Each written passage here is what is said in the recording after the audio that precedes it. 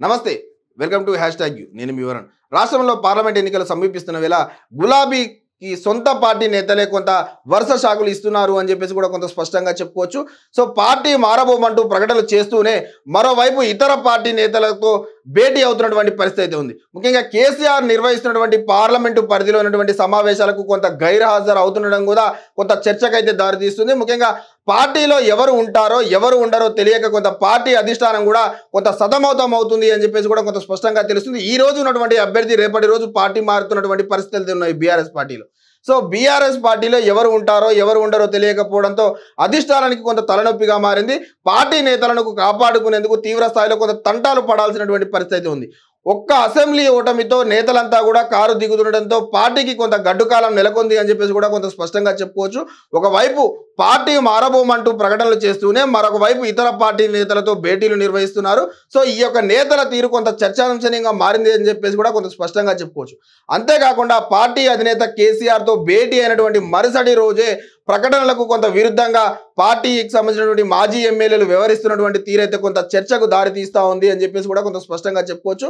So అయితే నిన్న ఆరూరు రమేష్కు సంబంధించినటువంటి వ్యవహారం కూడా ఇందుకు ఉదాహరణగా చెప్పుకోవచ్చు. సో ఇక కర్ణాటక డిప్యూటీ సీఎం డీకే శివకుమార్తో తనడు భద్రారెడ్డితో కలిసి బీఆర్ఎస్ పార్టీ ఎమ్మెల్యేగా ఉన్నటువంటి మల్లారెడ్డి భేటీ అయినటువంటి పరిస్థితి అయితే ఉంది. సో మాజీ మంత్రి పెద్దిరెడ్డి ఆ బీఆర్ఎస్ పార్టీకి రాజీనామా కూడా చేసినటువంటి పరిస్థితి. ఇక బుధవారం వరంగల్ పార్లమెంటు ముఖ్య నేతల భేటీలో పాల్గొన్నటువంటి మాజీ ఎమ్మెల్యే ఆరూరు రమేష్ కూడా ఢిల్లీ ఢిల్లీకి వెళ్ళారు సో బీజేపీలో ఆయన చేరడానికి కొంత సిద్ధమైనట్టుగా కూడా కొంత స్పష్టంగా చెప్పుకోవచ్చు. ఇక వరంగల్ బీజేపీ అభ్యర్థిగా పోటీ చేస్తారనే ప్రచారం కూడా కొంత ఊపు అందుకున్నటువంటి పరిస్థితి. వీరే కాకుండా గ్రేటర్ హైదరాబాద్కు చెందినటువంటి ఎమ్మెల్యేలు ఇతర జిల్లాలకు చెందినటువంటి మాజీ ఎమ్మెల్యేలు సైతం కొంత పార్టీని వీడేందుకు సిద్ధమవుతున్నటువంటి పరిస్థితి అయితే ఉంది. సో ఇప్పటికే జాతీయ పార్టీలైనటువంటి బీజేపీ కాంగ్రెస్ నేతలతో కొంత చర్చలు సైతం కంప్లీట్ అయినట్టుగా కూడా కొంత బీఆర్ఎస్ పార్టీ అంతర్గతంగా చర్చలు నడితే నడుస్తున్నటువంటి పరిస్థితి. సో ముఖ్యంగా చూసుకున్నట్లయితే ఉమ్మడి నల్లగొండ జిల్లాకు సంబంధించి ముఖ్య నేతలలో ఈ నెల పదకొండవ తేదీన కేసీఆర్ భేటీ అయ్యారు. సో ఈ భేటీకి భువనగిరి మాజీ ఎమ్మెల్యేగా ఉన్నటువంటి పైలశేఖర్ రెడ్డి హాజరు కానటువంటి పరిస్థితి. సో దీంతో ఆయన కాంగ్రెస్ పార్టీలో చేరుతారనే ప్రచారం కూడా కొంత జోరుగా సాగుతున్నటువంటి పరిస్థితి.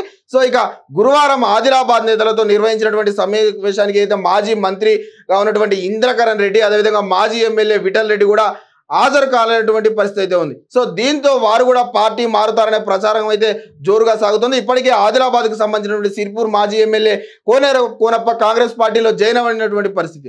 సో వీరితో పాటు ప్రస్తుతం గ్రేటర్ హైదరాబాద్ సంబంధించుకుంటే ఖైరతాబాద్ ఎల్బీ నగర్ కూకట్పల్లి ఇలా పలు నియోజకవర్గాలకు సంబంధించినటువంటి పార్టీ కార్యక్రమాల్లో సైతం సిట్టింగ్ ఎమ్మెల్యేలు కూడా కొంత యాక్టివ్గా పాల్గొనలేదు అనే ప్రచారం కూడా కొంత ఊపందుకున్నటువంటి పరిస్థితి అయితే ఉంది.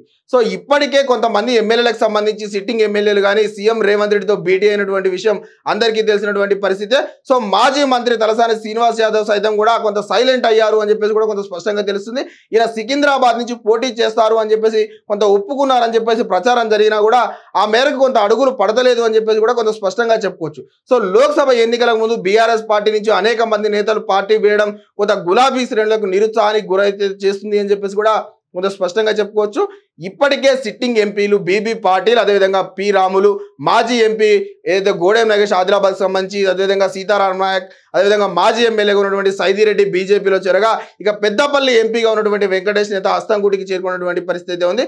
ఇలా నేతలు ఒక్కొక్కరుగా చేర్జారడంతో గులాబీ శిబిరంలో కొంత ఆందోళన నెలకొంది అని చెప్పేసి కూడా కొంత స్పష్టంగా చెప్పుకోవచ్చు. ఇక మల్కాజ్గిరి పార్లమెంటు పరిధిలోని నేతలతో పార్టీ అధినేత కేసీఆర్ మాజీ మంత్రి హరీష్ రావు పార్టీ పరిస్థితిపై ఆరా తీశారు. మాజీ మంత్రి Malla Reddy Karnataka deputy CM DK Shivakumar భేటీ గల కారణాలు ఆయన వ్యవహారం తీరుపై కొంత అడిగి తెలుసుకున్నట్టుగా కూడా కొంత స్పష్టంగా తెలుస్తుంది. ఒకటి రెండు రోజుల్లో కాంగ్రెస్ పార్టీ అగ్రనేత ప్రియాంక గాంధీతో మల్లారెడ్డి భేటీ అవుతారనే అంశంపై చర్చించినట్లు కొంత ప్రధానంగా సమాచారం అందుతోంది. రోజుకో విధంగా మాట్లాడుతుండడం ఇదివరకే ప్రభుత్వ సలహాదారు వేంరెడ్డి నరేందర్ రెడ్డితో భేటీ కావడం అంశాలపై కొంత చర్చించినట్లుగా తెలుస్తుంది. ఇక ఇక ఉమ్మడి నల్గొండ జిల్లాలోనే నల్గొండ భువనగిరి ఎంపీ స్థానాలపై కొంత మాజీ మంత్రి జగదీశ్వర్ రెడ్డితో కేసీఆర్ సుదీర్ఘంగా చర్చించారు. సో మాజీ ఎమ్మెల్యే పైలశేఖర్ రెడ్డి అంశాన్ని కూడా చర్చించినట్లుగా కొంత ప్రధానంగా సమాచారం అందుతుంది ఒకటి రెండు రోజుల్లో మిగిలిన పార్లమెంట్ స్థానాలకు సంబంధించి అభ్యర్థులు ప్రకటించినట్లుగా కూడా పార్టీ వర్గాలు కొంత తెప్పుతున్నటువంటి పరిస్థితి అయింది. ఏదేమైనా కూడా ప్రస్తుతం బీఆర్ఎస్ పార్టీ ఓటమి పాల్గొవడంతో అసెంబ్లీ ఎన్నికల్లో పార్టీలో ఉన్నటువంటి మాజీ ఎమ్మెల్యేలు కూడా ఒక్కొక్కరుగా చేజారుతుండడంతో ఇప్పుడు పార్టీ కొంత భవిష్యత్తు కొంత ప్రశ్నార్థకంగా మారిపోతుందా? ఎవరు ఉంటారు? ఎవరు ఉండరు? అని చెప్పేసి బీఆర్ఎస్ పార్టీలోనే రోజు రోజుకు అంతర్గతంగా చర్చ అయితే మొదలైనటువంటి పరిస్థితి. సో రానున్న రోజుల్లో ఎంతమంది ఎవరు ఏ పార్టీలోకి చేరబోతున్నారు అనేది మరి కొంతకాలం వేచి చూడాల్సిన అంశం అయితే ఉంది. సో మరిన్ని తారా సమాచారాల కోసం చూస్తున్నాండి హ్యాష్ ట్యాగ్.